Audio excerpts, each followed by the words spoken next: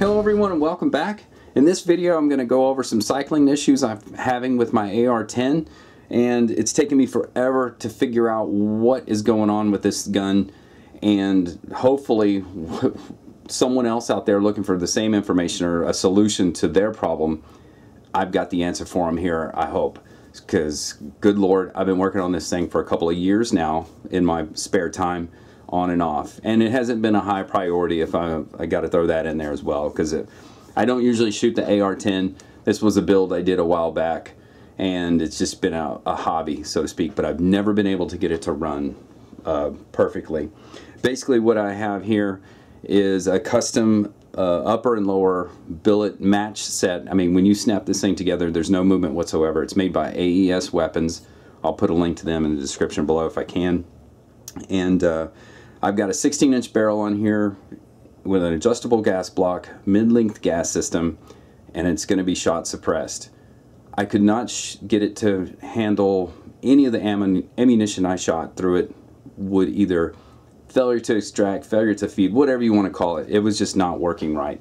And so I've adjusted my gas down to where I think I'm getting too much gas. With a when you put a suppressor on a gun, it's going to inject more gas in there. And what happens is when the bolt carrier starts to move backwards after the gun's fired, the gas inside the chamber from that explosion, the brass casing has expanded really, you know, beyond its limits. And that's what the chamber, the chamber compresses it, keeps it in there.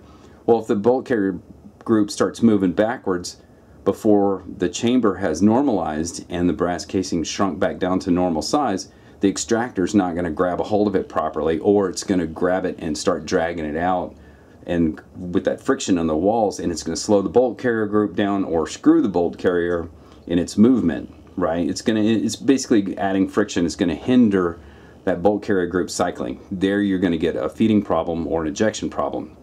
So one of the common fixes for this is to replace uh, for your bolt carrier group moving too fast, too quickly, is to put a heavier buffer in there. So I have, I've moved up to a tungsten buffer tube and the problem still persists. And then I did notice there's some peening back here. So my bolt carrier group is actually hitting back here on the lower and on the buffer tube itself. You can kind of see some, some silver marks on the edges of the buffer tube. And so there's way more silver than in there then the damage that you uh, that was really happening. Basically, I took my Dremel tool out and I kind of relieved some metal in there, thinking that you know this is a this is a brand new upper and lower. Maybe there's some kind of uh, defect in there where there's not enough space for the bolt carrier group to come back. So I relieved some metal. Still didn't fix the problem, and you can actually see at the top side there's some dings right there at the top.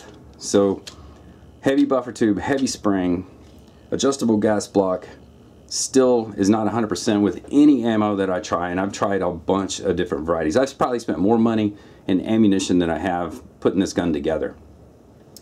So I started looking around and I get lost in the forums. People don't stay on task and it's, it's very frustrating. And I kept running across something about an enhanced buffer tube, but I'm not really understanding what's the benefit other, you know, what's the benefit of this? No one really goes into great detail on it. So the best I can figure is I've got some kind of carrier tilt. So when the, the carrier's coming back, it's, it's tilting like this and it's hitting around the edges right there. So carrier tilt. Apparently this, with this little support area, is supposed to fix carrier tilt. But like I said, I can't find anybody going, yes, that fixed my problem. So that's why I'm making this video to show you, yes, that fixed my problem. So if you're having issues like this and you stumble across this video, this is for you.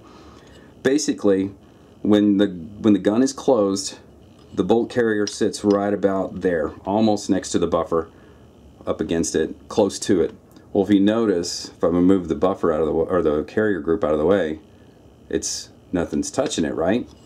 When you use this extended uh, carrier tube here or buffer tube those this extended area right here is this acts as a support area for the the bolt carrier group. So it actually sits right there. So it's already got a guide to help it insert. So in this case down here when the gun goes off, this is wobbling around a little bit, carrier tilt, and it bangs into the edges of the tube to get inside. This acts like a shoehorn and creates a much smoother, uniform cycle. So once I installed this on the rifle, 100%, all I still have all the same ammo because it doesn't run anything really. And once I installed this and started shooting it, it ran every single thing I had. For years I noticed this and I thought, oh, that you know, it's kind of a gimmicky thing to keep your little detent in place, but apparently there's more to it. That I never experienced this problem until I built this rifle, so I never really explored these buffer tubes.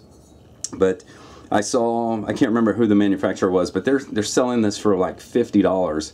And I thought, well, I'll throw another $50 at this gun. I've already spent who knows how much in, in ammo. And then I found this one. This is Aero Precision.